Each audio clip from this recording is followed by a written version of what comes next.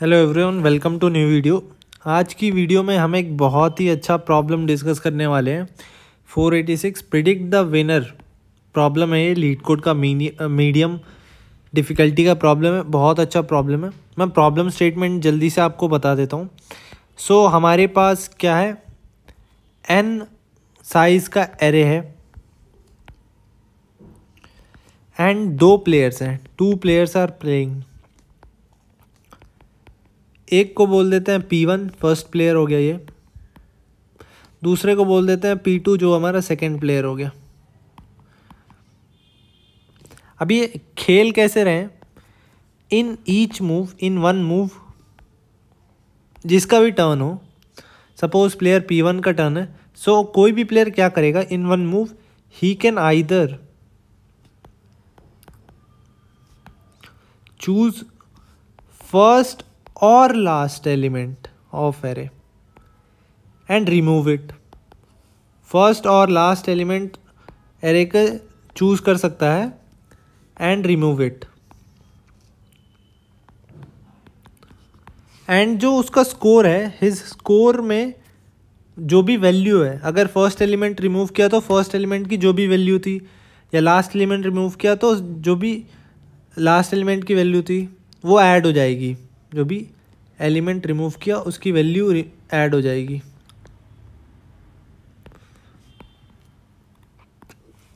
ठीक है? सो ऐसे वो लोग खेल रहे हैं। अब हमसे क्या पूछा गया है? हमसे पूछा गया है कि क्या प्लेयर वन जीत पाएगा? Will player one can win क्या प्लेयर वन जीत पाएगा? अगर जीत पाएगा तो यस प्रिंट करना है नहीं तो नो प्रिंट करना है। और जीतने की कंडीशन क्या है? सिंपल अगर जो भी प्लेयर वन का स्कोर है वो अगर ग्रेटर है स्कोर टू से प्लेयर टू के स्कोर से तो तो जीत ही जाएगा। लेकिन अगर इक्वल है तो भी हम प्लेयर वन को ही विनर मानेंगे ठीक है? अगर ये इक्वल है तो भी इस केस में प्लेयर वन जीतेगा और हम यस रिटर्न करेंगे। सो so, यही एक प्रॉब्लम है। बहुत ही अच्छा प्रॉब्लम है। अब अब आते हैं। अब एक मैं जनरलाइज्ड अप्रोच बताता हूँ इस टाइप के प्रॉब्लम्स को करने की। जब भी वेन जब भी आपके पास चॉइसेस हों whenever you have choices to make so आप 90 percent more than 90 percent chance है कि वहाँ पे आपको रिकर्सन यूज़ करना है। आप आराम से वहाँ पे रिकर्शन यूज़ कर सकते हो। जहाँ भी चॉइसेस वाले क्वेश्चन मिले, यहाँ पे हमारे पास चॉइस है। हर एक प्लेयर जो भी खेल रहा है, उसके पास क्या चॉइस है? ये हमारा एरे है।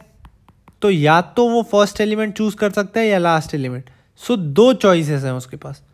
सो जब भी ये चॉइस वाले प्रॉब्लम आगे से आप देखोगे try to come up with a recursive solution एक रिकर्सिव सोल्यूशन लिखने का ट्राई करो। ठीक है? रिकर्सिव सोल्यूशन लिखना बहुत ईजी हो जाता है। जब आप ऑब्वियसली पहले कुछ प्रैक्टिस लगेगा। Recursion is base of everything recursion सही हो गया डीपी आ जाएगी अच्छे से। फिर ट्रीज आ जाएँगे ग्राफ्स आ जाएँगे। सो बैक ट्रैकिंग हो जाएगी अच्छे से। सो so, ये सब का बेस क्या है? रिकर्शन है। ठीक है? सो रिकर्शन को लिखना सिंपल होता है। अगर आपने प्रैक्टिस की है उस टाइप के प्रॉब्लम्स को प्रैक्टिस करोगे तो ज़्यादा टाइम नहीं लगता मास्टर करने के लिए। ठीक है आइडेंटिफाइंग द प्रॉब्लम वो एक हार्ड होता है, ठीक है? अब आ जाते हैं यहाँ पे। अब, जब इस टाइप अब आपने समझ लिया कि आपके पास चॉइसेस हैं, आपको रिकर्शन यूज़ करना है। सो कैसे? रिकर्सिव फ़ंक्शन लिखने के लिए हमेशा आप क्या करोगे? स्ट्रैटेजी ये स्ट्रैटेजी यूज़ करोगे। यू आप अपने आप को एक रैंडम इंडेक्स पे हो, ऐसा मानोगे। You are in in a random state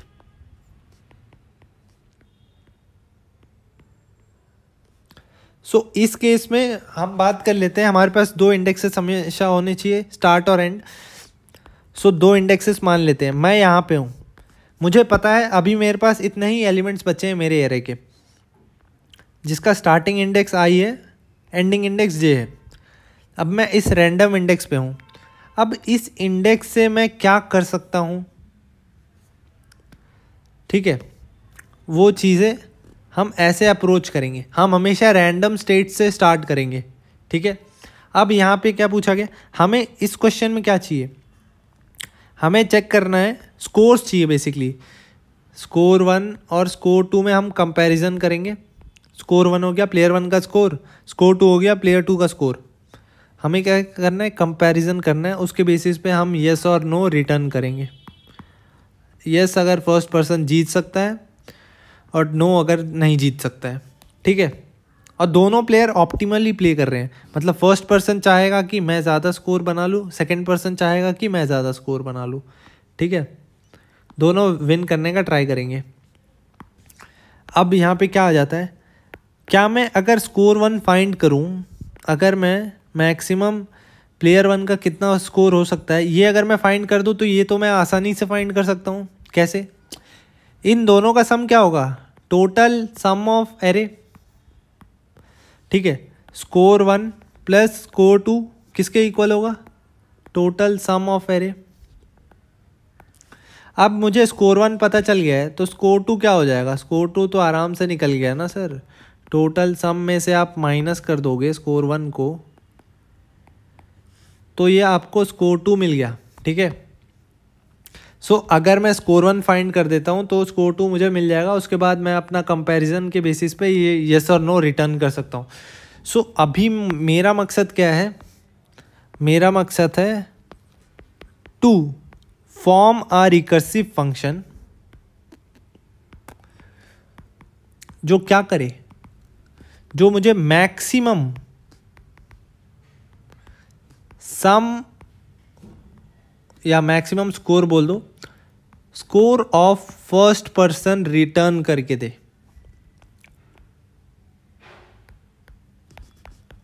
ठीक है? अब यहाँ पे बात देने वाली ये यहाँ भी आपको ये ध्यान देना था। एन जो था वो अप टू टू ट्वेंटी था ठीक है? सो so, यहाँ से आपको हिंट मिल जाना चाहिए था रिकर्सन रिकर्सिव फ़ंक्शन का टाइम कॉम्प्लेक्सिटी हमेशा क्या होता है? In most of the cases exponential होता है। ठीक है रिकर्सिव फ़ंक्शंस का। सो so, यहाँ पे रिकर्सिव यहाँ पे जो वर्स्ट टाइम कॉम्प्लेक्सिटी अलाउड थी वो एक्सपोनेंशियल थी। सो so, यहाँ से भी हिंट मिलना चाहिए था रिकर्शन का ठीक है? वैसे जब भी आपको चॉइसेस मिले मैं आगे भी बताऊँगा कि अगर बड़ी वैल्यू होती तब हम क्या करते? ये सेम प्रॉब्लम है बड़े कंस्टेंट्स वाला भी ये प्रॉब्लम एक अवेलेबल है वो हम बताएँगे ठीक है? उसका भी मैं आपको बता दूँगा कहाँ पे अवेलेबल है। To form a recursive function जो हमें मैक्सिमम स्कोर फ़र्स्ट पर्सन का रिटर्न कर दे, करके दे, ठीक है? अब हम, हमें पता चल गया हमारा मकसद क्या है रिकर्सिव फ़ंक्शन का? अब हम इस रिकर्सिव फ़ंक्शन को लिखेंगे कैसे? लिखने के लिए हमेशा आप एज्यूम करो किसी आप मिडिल स्टेट में हो। आप एकदम स्टार्टिंग पे नहीं हो एंडिंग में नहीं हो, कहीं बीच में हो। तभी आप लिख सकते हो।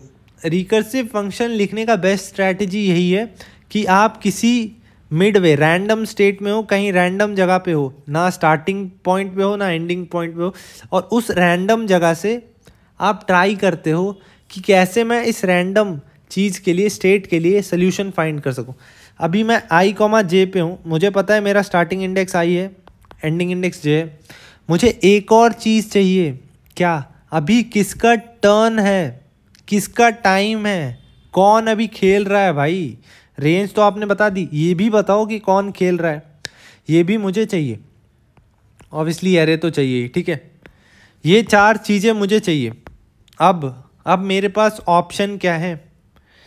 मेरे पास, अगर, मान लेते हैं कि टर्न की वैल्यू ज़ीरो है, इसका मतलब फ़र्स्ट प्लेयर का टर्न है। अगर वन है, इसका मतलब सेकेंड प्लेयर का टर्न है, ठीक है? यही दो स्टेट होने वाले दो बंदे ही खेल रहे हैं तो तीसरा स्टेट क्या करोगे guru ji if turn is zero इसका मतलब क्या है?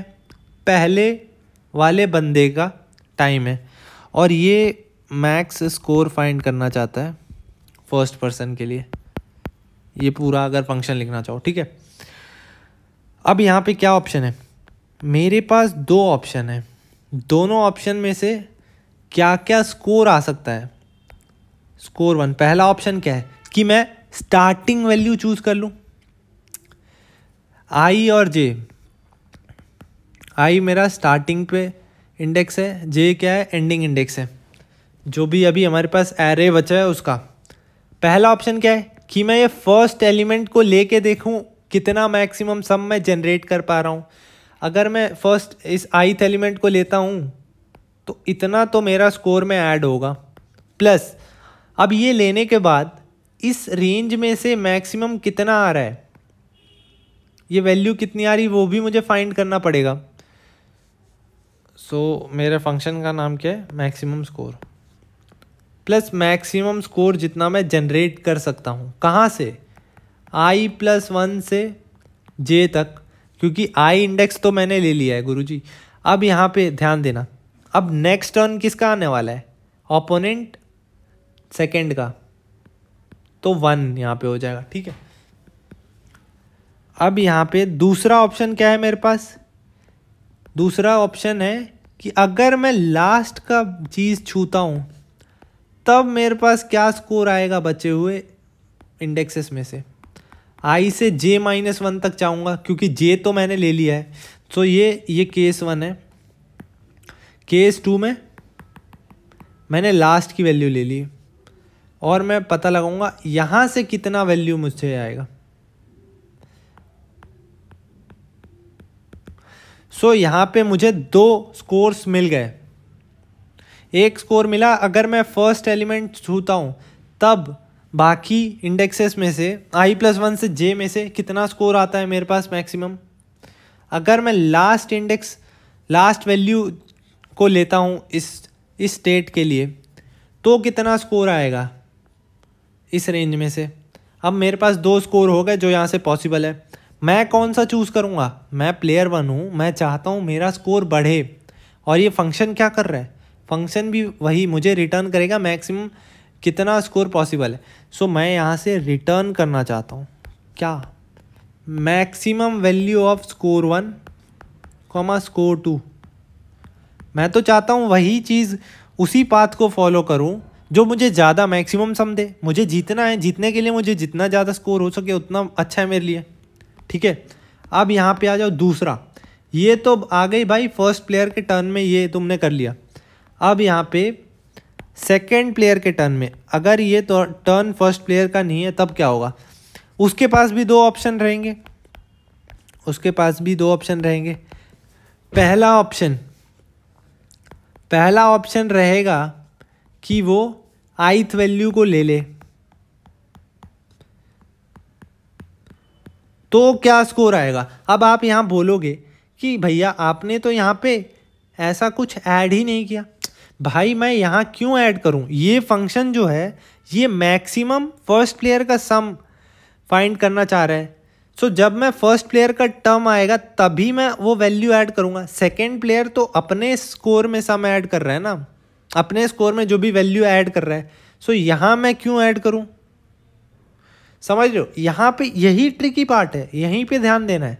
सेकेंड प्लेयर क्यों स्कोर ऐड करे? ये फ़ंक्शन किस लिए है? मैक्सिमम स्कोर फाइंड करने के लिए प्लेयर वन का, जो पॉसिबल है। यहाँ पे वो ऐड थोड़ी करेगा सेकेंड प्लेयर सेकेंड प्लेयर तो अपने स्कोर में ऐड कर रहा होगा। ठीक है? तो यहाँ पे हम ये एडिशन नहीं करेंगे। स्कोर टू स्कोर टू कब आएगा? जब सेकेंड प्लेयर चाहता है लास्ट वैल्यू लेता है। तब कितना आता है, ठीक है?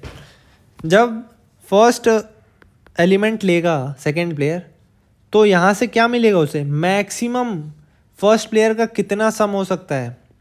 स्कोर मैक्सिमम कितना हो सकता है?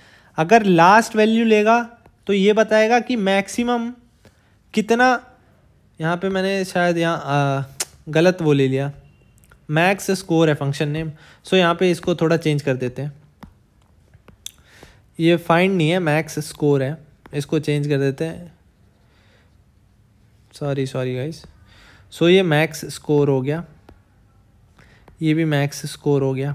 ये हमारा फ़ंक्शन नेम ठीक है तो ये क्या बता रहा है? मैक्सिमम स्कोर किसका? प्लेयर वन का कितना हो सकता है? अगर सेकेंड वाला जो बंदा है, वो लास्ट वैल्यू ले। तो इस रेंज ये बेसिकली बता कह रहा है? आई से जे माइनस वन तक। कितना मैक्सिमम स्कोर जनरेट हो सकता है प्लेयर वन का? और ये बता रहा है आई प्लस वन से जे तक कितना मैक्सिमम स्कोर हो सकता है प्लेयर वन का? ये फ़ंक्शन ये रिकर्सिव मैक्स स्कोर फ़ंक्शन कर क्या रहा है? ये मैक्सिमम सम बताने के लिए जितना प्लेयर वन का हो सकता है। अगर दोनों ऑप्टिमली प्ले करें, देखो, अभी दोनों ऑप्टिमली कैसे प्ले करेंगे, अब आएगा मेन ट्विस्ट ठीक है? अब मुझे पता चल गया मैक्सिमम स्कोर यहाँ से कितना आने वाला है प्लेयर वन का, यहाँ से कितना आने वाला है। अब सेकेंड प्लेयर क्या चाहेगा?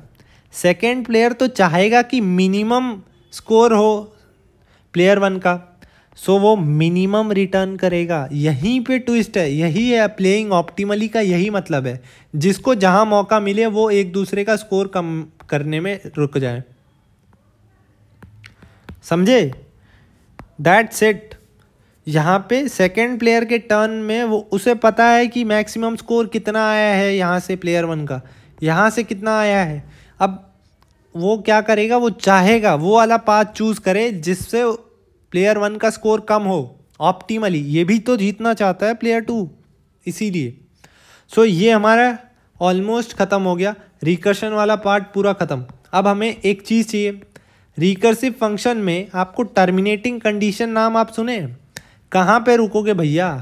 वो यहाँ पे आ जाएगा। टर्मिनेटिंग कंडीशन अब हम आई और जे ले रहे हैं ठीक है? आई जे ले रहे हैं। आई जैसे ही जे से बड़ा होगा ये एक इनवैलिड रेंज हो जाएगी। So if I is greater than J ये इनवैलिड रेंज हो गई। कभी स्टार्टिंग वैल्यू एंड से बड़ी हो सकती है? नहीं। सो so, इनवैलिड हो जाएगी तो वहाँ पे आप रिटर्न ज़ीरो कर दो ठीक है? ख़त्म। ख़त्म। आपका ये आंसर हो गया इस प्रॉब्लम का ठीक है? यहाँ पे कंस्टेंट्स इतने छोटे थे कि ये रिकर्सिव सोल्यूशन डायरेक्टली आप सबमिट करोगे तो ये एक्सेप्टेड हो जाएगा। एन की वैल्यू ट्वेंटी है। Worst time complexity allowed is two की पावर ट्वेंटी और एक्सपोनेंशियल टू की पावर एन मैं होप करता हूँ आपको समझ आया होगा क्या हमने कैसे किया। ये फ़ंक्शन मुझे क्या रिटर्न करेगा? मुझे रिटर्न करेगा मैक्सिमम प्लेयर वन की वैल्यू कितनी हो सकती है जब दोनों प्लेयर ऑप्टिमली प्ले करें।